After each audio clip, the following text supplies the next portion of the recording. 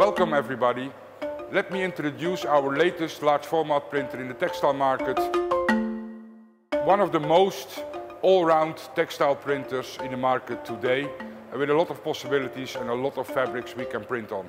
The opportunity for a small company to have this printer is the small runs you can print and the extreme wide variety of textiles that you can print with, for example, a pigment configuration or the dual configuration where you can do with pigment inks, basically all fabrics and with a dye sublimation also paper transfer. For the large companies, imagine this printer, how ideal it could be to do sampling.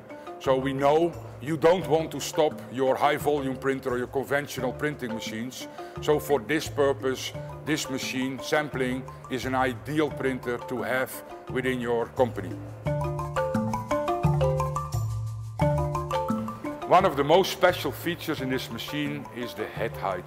So we are able to lift the head carriage up to 7 millimeters, which prevents a head crash with the paper or with the fabric that you are printing. What kind of fabric you are printing depends on the ink configuration. So for this printer we have the possibility to load five different dedicated inks for dedicated fabrics like reactive acid, pigment inks, dye sublimation and direct sublimation inks. However, we also offer the opportunity to split our four print heads into two for a dual ink configuration. So basically we can load a pigment ink together with a dye sublimation ink or a pigment ink with direct uh, sublimation ink and the last choice for dual configuration is direct sublimation and paper sublimation.